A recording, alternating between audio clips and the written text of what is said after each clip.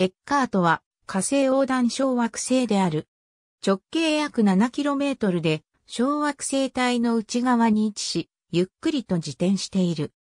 1950年7月15日に、ドイツの天文学者、カールライン・ムートによって、ドイツ南部のケーニヒシュトゥール天文台で発見された。名称は、アメリカの天文学者、ウォーレス・ジョン・エッカートにちなむ。火星横断小惑星は、太陽系の中で最も内側に密集した小惑星群を形成するハンガリア群の一員である。1.6から 2.3au の距離で2年8ヶ月周期で太陽の周りを公転している。軌道離心率は0.17、王道に対する軌道傾斜角は19度である。発見前の観測や同定が行われていないため、エッカートの観測は正式な発見以降のものとなる。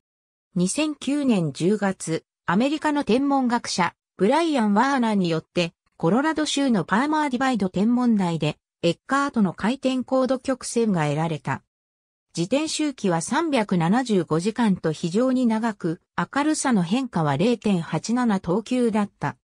2016年にローウェル速攻データベースから得られたモデル化された高度曲線は377.5時間と同様の周期を与えた。エッカートの自転周期は既知の火星横断小惑星の中で6番目に長い。日本の赤外線天文衛星、あかりによる観測によれば、直径は 6.95km、表面のアルベドは0.203である。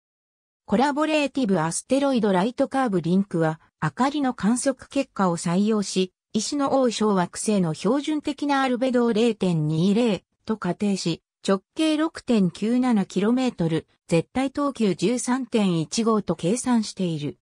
この小惑星は、1940年から1945年までアメリカ海軍天文台の大長を務め、IAU の第7委員会の委員長であり、自動計算機のパイオニアであったアメリカの天文学者、ウォーレス・ジョン・エッカートにちなんで命名された。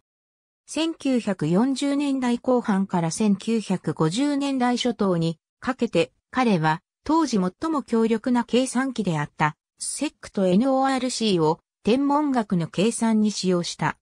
小惑星 NORC は、この初期のスーパーコンピュータにちなんで命名された。エッカートはまた、ディルク・ブラウアーとジェラルド・クレメンスと共同で、5つの外惑星の軌道の統合を行った。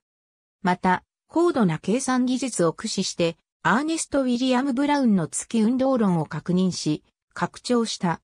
正式な命名の由来は、1976年2月20日に小惑星センターによって発表された。ありがとうございます。